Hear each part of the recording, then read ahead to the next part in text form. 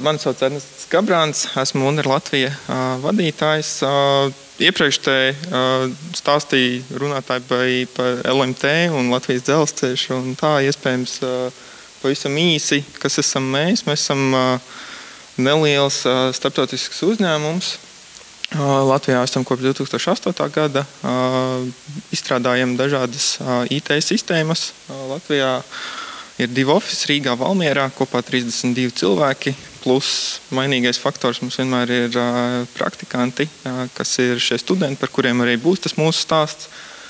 Un, uh, galvenā lieta, kas ir tas, ko mēs darām un ko arī mēs pārdodam, ir mūsu zināšanas un kompetences. Un, uh, šīs zināšanas un kompetences arī ir tas, kas, kas mums ir aktuāli uh, un uh, svarīgi.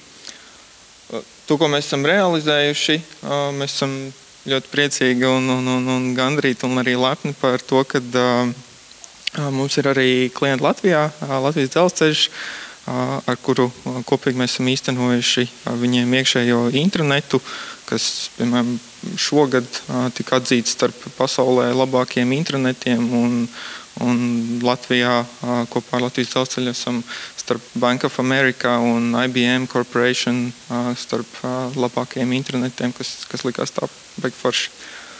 Kā arī, piemēram, MTV. Ja jūs atverat MTV UK, tad tas, ko jūs redzat, tā programmatūras priekšējā daļa, kas tiek izstrādāta, to ir izdarījis Valmierietis, kas patiesībā arī savulaik sāka kā, kā praktikants. Nu jā, un tad, kas bija tas, kā mēs nonācām?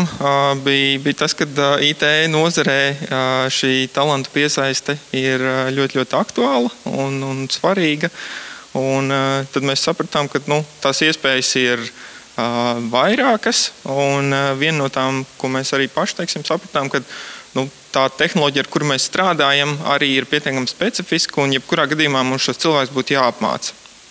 Un tad, tad mēs skatījāmies uz abiem variantiem. Nu, kad ja mums viņi ir jāapmāca, tad ļoti iespējams, ka mēs varam arī investēt šo laiku studentos un īstenot un, un aktualizēt šo prakses iespēju. Tā kā mums bija oficiāls Valmjerā, tad Vidzemes augstskola ir turpat blakus.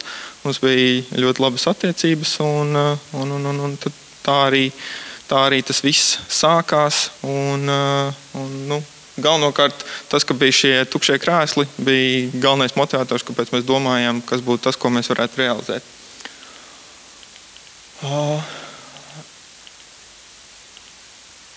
Šeit varbūt redzams viss process. Pašā procesā nekā tāda ļoti unikāla nav. Tātad mums ir, mēs izsludinām divas reizes gadā to, ka mums ir šīs prakses iespējas. Uh, un uh, organizējam intervijas. Uh, nu, Piesakās studenti, uh, organizējam intervijas. Uh, lielākoties ar visiem arī parunājamies, jo uh, gan izvērtēšanai, gan arī tāpēc, ka uh, mums ir svarīgi, ko viņi domā, uh, kā viņi redz pasauli un tā tālāk.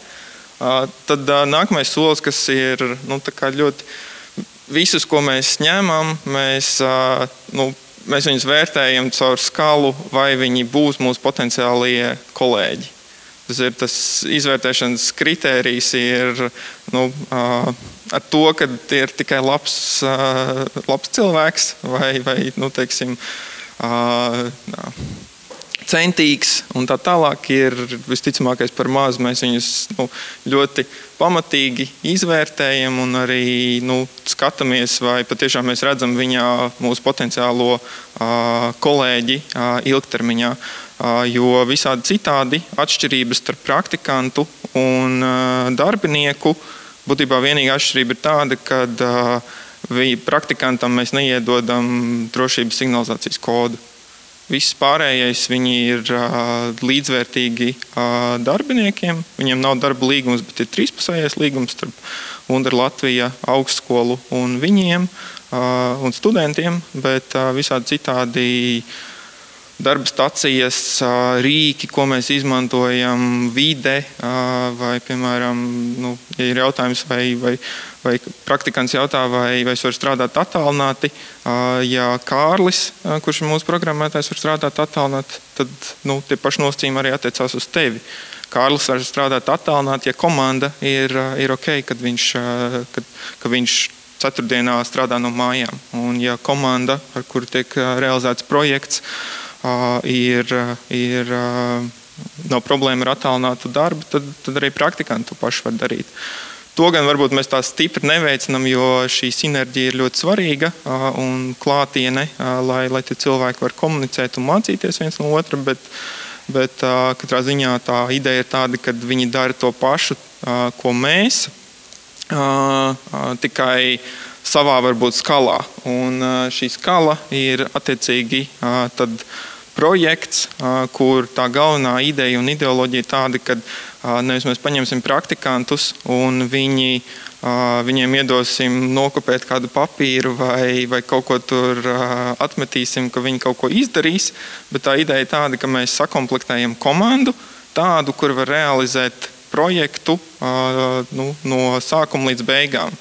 Un, viņiem tiek piesaistīts mentors, kas atbalsta un sniedz viņiem padomus, kā labāk, kādas ir iespējas. Bet uh, realitātē, ja mēs runājam par programmētājiem un mūsu gala atlikums ir kods uzrakstītais, tad kodu raksta studenti. Ja kodu neuzrakstīs studenti, tad projektam gala rezultāts nebūs. Un tas ir, tas ir kaut kas tāds, kas nu, varbūt arī atšķir vai ir uh, savā ziņā unikāls uh, šī prakses pieeja, kad mēs no savas puses arī esam ļoti atvērti un atklāti. Uh, klienti, kuriem tiek realizēti šie projekti, viņi zina, kad, uh, kad studenti ir tie, kas uh, šos projektus realizēs.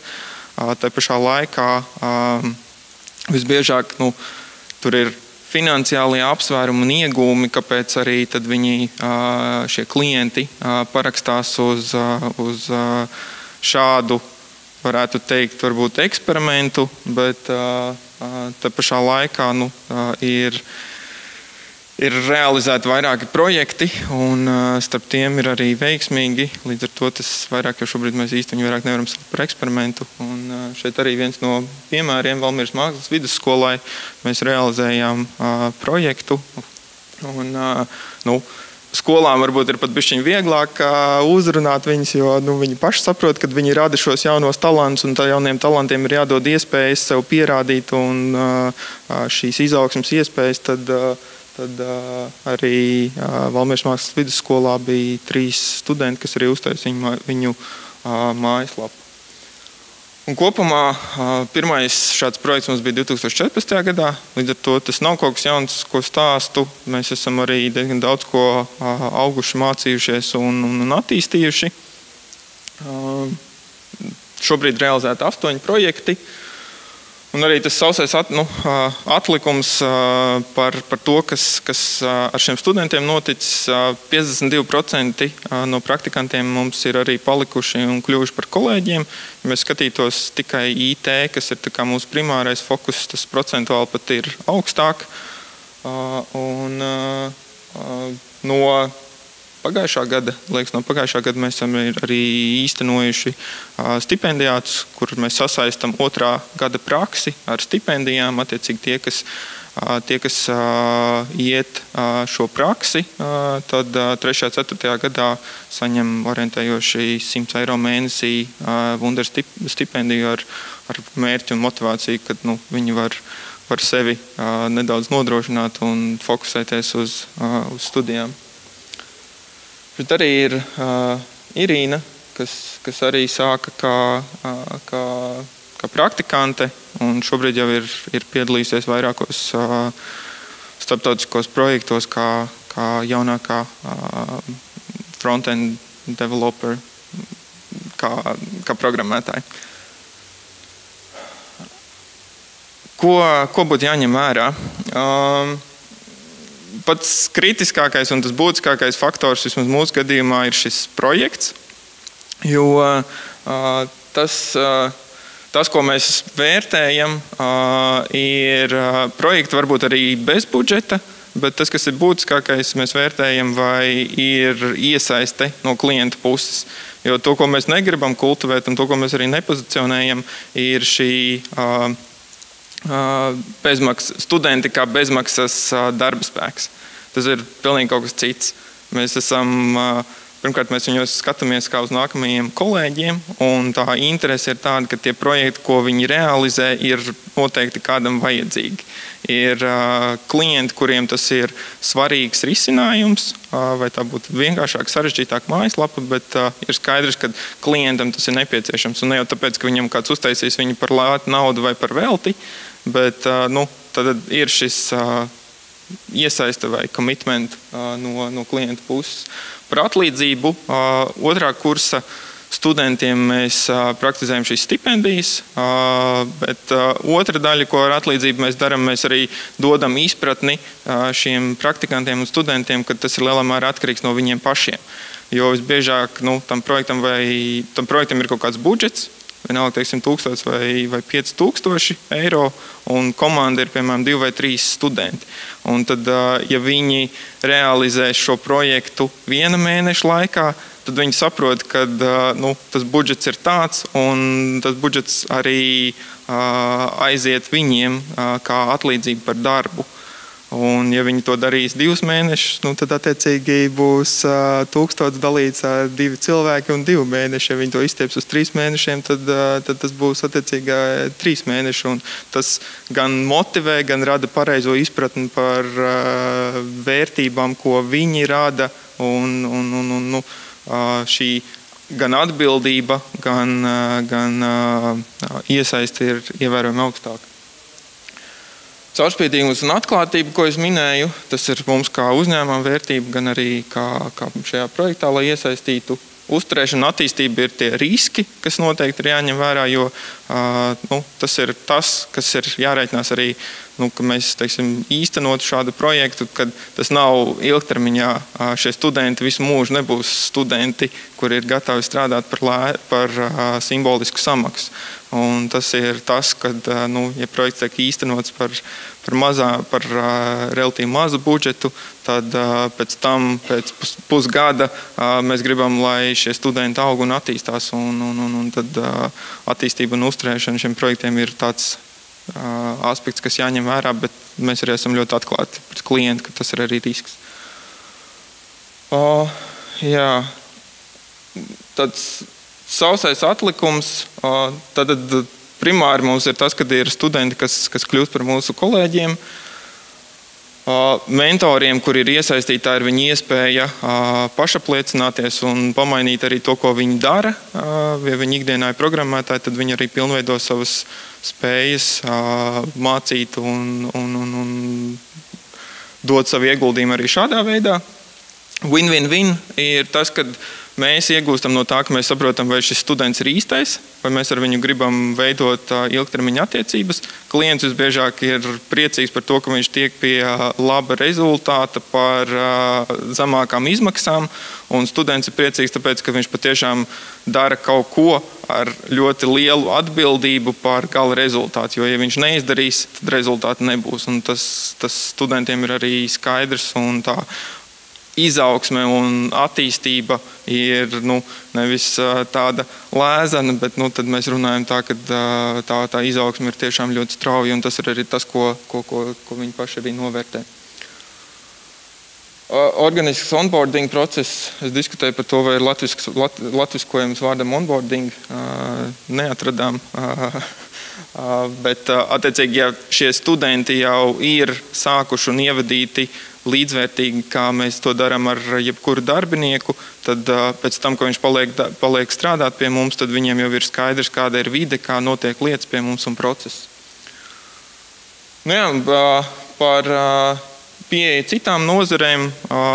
Tas, man liekas, būtu arī kaut kas tāds, ko, ko, ko citās industrijās, es šaubos, vai varbūt ražošanā var izmantot, bet tas, kas ir konsultācijas un, un cilvēku resursi, vai tās būtu nezinu, potenciāli komunikācijas aģentūras, kurām arī nāk pieprasījumi no maziem klientiem, kuri saka, ka, hei, vai mēs varētu kaut ko izdarīt, tad ļoti iespējams, ka tā, tā ir viena no iespējām, kad sakomplektējiet komandu un esiet atklāti pret saviem klientiem, kad šie studenti ir potenciāls, kas varētu īstenot jūsu projektu. Ir kaut kādi riski, apzinoties risku, bet ļoti iespējams, ka būs industrijas, kuras to, to varētu arī veiksmīgi izmantot arī priekš sevis. Šeit ir cik viņi ir seši, no kuriem četri ir šobrīd mūsu kolēģi. Viens ir vienošanās, kas sāks ar augustu vai septembri, un ar Ivaru arī potenciāli mums, mums nākotnē varētu būt sadarbība. Paldies! Lielas paldies! Vai būtu kādi jautājumi? Lūdzu! Tu minēji, ka, ka mikrofons labi paldies. Tu minēji, ka jums stipendijas sākot no otrā kursa. Tas nozīmē no otrā prakses gada vai no otrā kursa, kad viņi ir otrajā kursā? Viņiem praksa ir otrā kursa beigās. Attiecīgi stipendiju mēs maksājam 3. un 4. kursā. Un cik ilgi parasti jums ir prakses laiks? Tās prakses ir dažādas. Otrā kursa praksa patiesībā ir tikai viens mēnesis. Visbiežāk viņi tur saistībā ar studijām tā tālāk izstiepjas uz sešām nedēļām, kas mums likās baigi izaicinoši, jo nu, ļoti, ļoti īss. Bet uh, mēs palielam bija pats pirmais eksperiments, kur mēs sākām, un tas bija bez sekmīgām beigām. Ja, teiksim, šis risinājums netika palaists un nav izdzīvojis, bet uh, visi pārējie septiņi projekti ir, ir vai nonāks līdz laimīgām beigām, kas ir palaists projekts, kuru jūs ikdienā atverat un jūs varbūt arī nenojaušat, vai to taisīs. Nezinu, mūsu kolēģis, darbinieks, vai, vai to ir taisījis kāds no mūsu praktikantu komandas. Paldies! Lūdzu, vēl kādi jautājumi? Vai es saprotu pareizi, ka jūs pieņemat darbā ne tikai IT praktikantus, bet arī dažādu citu jomu praktikantus? Mm, fokus noteikti ir uz uh, IT. Uh, patreiz uh, mēs, nu, mēs skatāmies, un tā varbūt arī varētu būt nu, tāda nākotnes ideja, kad, uh, ja patreiz mums ir šīs komandas, mēs komplektējam lielā mērā tikai no programmētājiem, kas ir arī mūsu fokus un uzsvars, tad uh, nu, varētu vērst plašumā un, piemēram, likt klāt komunikācijas cilvēkus, jo arī, teiksim, vidzemes augstskolā konkrētajā gadījumā viņiem ir plašs spektrs un tas, ko varētu vismaz tādā skaistā ideja līmenī, kad noklāpēt nu, plašāka spektra speciālistus, kas tad jau nu, kā tāda pilna servisa konsultāciju komanda, kurā atnāk pie klienta un saka, mēs izstrādāsim jums stratēģiju, mēs uzrakstīsim jums tekstus, mēs uzzīmēsim jums dizainu un grafisko, grafiskās lietas, un mēs jums viņu implementēsim un palaidīsim. Bet, bet nu, tur, tur ir vēl vairāk riski, un, un, un, un līdz, līdz tam vēl varbūt jāaug. Lielas paldies!